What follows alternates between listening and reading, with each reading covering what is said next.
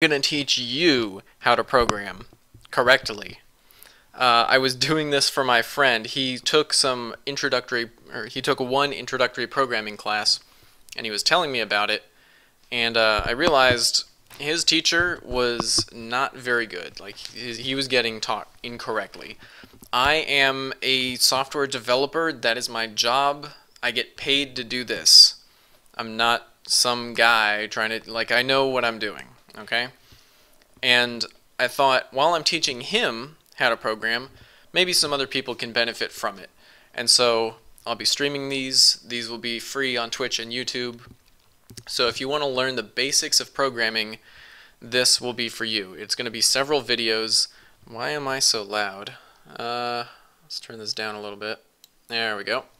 It's going to be several videos, uh, and it's going to be geared towards very, very introductory topics. Okay, so if you've never programmed anything before, and you want to learn, this is for you. If you've programmed a little bit, maybe you've messed around with some game scripting languages or something like that, if you've if you've done a little bit of programming but you're not very good and you want to learn more, this is also for you.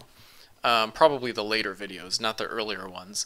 Um, this is not intended for advanced users. I will not be teaching anything really difficult. If you want to, you know, really go for it, um, then take college courses because there is a lot to learn in programming, software design, engineering, that kind of stuff.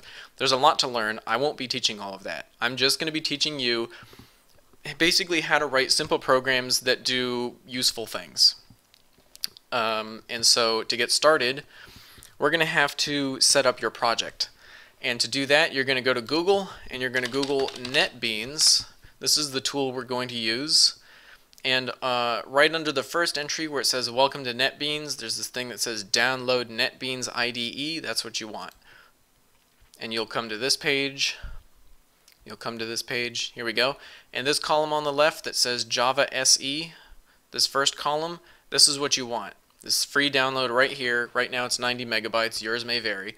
But you want Java SE NetBeans. So download that, install it, and run it. And when you do, uh, it's going to look something like this. There's not going to be much there. Okay, this is an IDE. It stands for Integrated Development Environment. It's basically Notepad, but with tons and tons more features. It's, it's a text editor designed specifically for programmers. Okay, so it does all kinds of cool stuff relating to creating code, editing code, uh, navigating through code, all kinds of stuff. So to get started, you have to make a new project. A project is just one big collection of code that is basically one huge program. So we're going to right click on this panel on the top left that says projects. I believe it'll be on the top left for you. Hit new project. It might say like project explorer, but mine says projects. And you'll see this window or something like it. I'm using JMonkey Engine actually. It's not exactly NetBeans but it's built on top of NetBeans, so the menus are pretty similar. Uh, so you want to create a new Java application, just a plain old Java application, none of that other fancy stuff. And we're going to name this one Test Project. My keyboard's very loud, forgive me. Alright, and when it's done, you'll have something that looks like this. These little comments may be different. You can get rid of them. These these things with the stars and the and the slashes and the gray text. I think it I think it's gray for you. You don't need any of these. This is what you need. You need this package at the top for whatever you named your project. You need public class, whatever you named your main class, and this public static void main thing. This is what you need to run a basic Java application.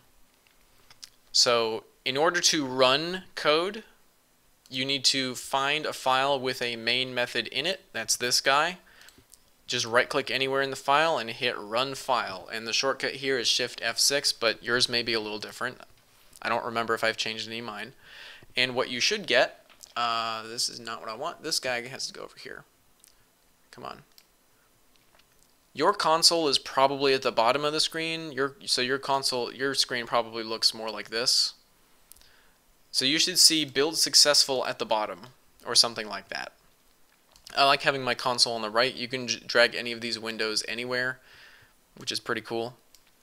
So this is what mine's going to look like. You can cu customize yours however you want.